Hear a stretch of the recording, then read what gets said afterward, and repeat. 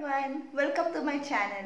My name is Anangsha Alammyan and in this video series we are going to dissect the psychology of Alfred Adler. If that name does not ring a bell, Adler was an Austrian psychotherapist who is known as the founder of the school of individual psychology. The key facets of his proposed way of thinking promote personality development, something which I believe is very important among today's youth. Before I begin this video series, I want to be honest with you. I have not read all of Adler's texts. The way I have learned uh, thinking is actually from this book called The Courage to be Disliked by Ichiro Kishimi and Fumitake Koga. Without further ado, let's begin today's video. This video is going to be about how to deny trauma. Adler denies the existence of trauma. According to Adler, no experience in itself is the cause of our future success or failure. We do not suffer from the consequences of our so-called past experiences, the trauma, but instead we make out of them whatever suits our purpose. Now this might sound confusing, but what Adler says is this. We are not determined by what we experience.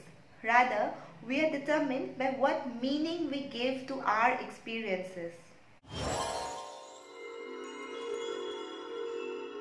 Adler is not saying that the memories of some childhood calamity or some form of abuse have no influence in the personality of a person.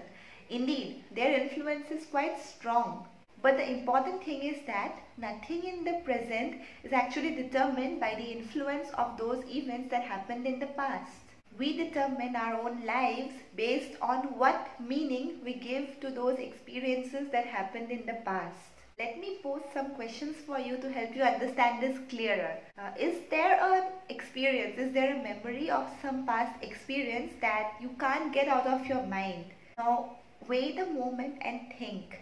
Do you think that you are not able to let go of that past experience because blaming that for everything wrong that happens in your life is convenient, is easy? Is it not possible to look at that experience in a positive light, learn something from it and move on? In a nutshell, your life isn't what someone gives to you. It is what you make out of whatever you are given. You choose the way you live. Well, that brings us to the end of this video. I'll be back again next week with another impossible concept that Adler has proposed, something that you can apply to have a better way of living your life. Till then, keep smiling, keep shining, and keep being awesome.